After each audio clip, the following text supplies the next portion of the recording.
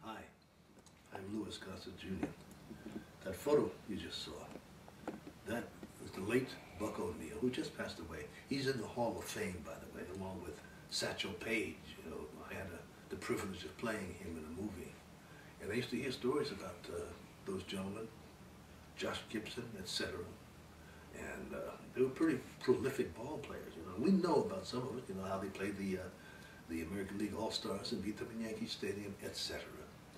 But there's a story up until Satchel Paige and, and Josh Gibson that you don't know anything about. And I'm just learning about it. It's exciting me. And that's why I'm on board. Because it is upon those shoulders that these young African-American ball players stand today.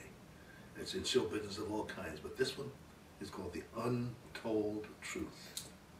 It's a pretty fascinating subject. And I want to thank Don Motley, Bob Kendricks, and Ray Doswell, who now runs the museum. We're going to get this done. If you're interested and curious about this fascinating story, please join us.